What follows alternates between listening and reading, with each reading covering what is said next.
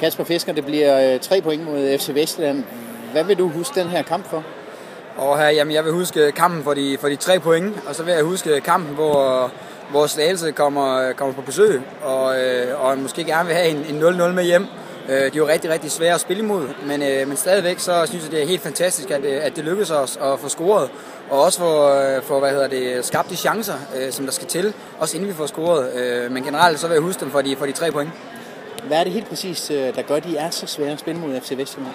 De står jo med, med de der fem nede bag i, øh, som, der, som der gør det utroligt svært, så det vil sige, at man skal ramme dem på en omstilling. Øh, men det er også svært, fordi så er de alligevel tre dernede. Øh, så, øh, så det gør jo, at, at de gerne vil trække tempoet lidt ud af kampen, og, og gerne vil have, at vi bare har bolden, og så øh, kræver det ekstra stor øh, opfindsomhed og, og bryde dem igennem.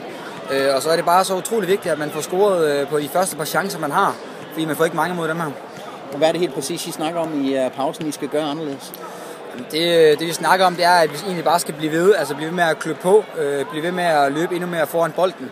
Øh, og så skal vi score på, på de chancer. Øh, jeg kunne godt have scoret også et, et mål i anden halvleg, og det er de der mål, der gør, at, at modstanderen bliver tvunget frem på banen, og så bliver det lidt nemmere at spille imod dem.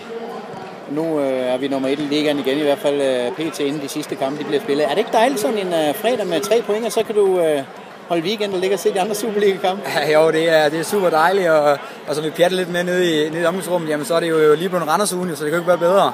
Øh, men, øh, men vi skal nu øh, bare videre til, til næste kamp. Vi har en, en kamp på, på næste søndag, øh, hvor det er utrolig vigtigt at på hjemmebane igen. Vi vil gerne øh, bevare det der med, at vi vinder på hjemme og få endnu flere tilskuere på stadion, så, øh, så vi ser frem til næste hjemmekamp.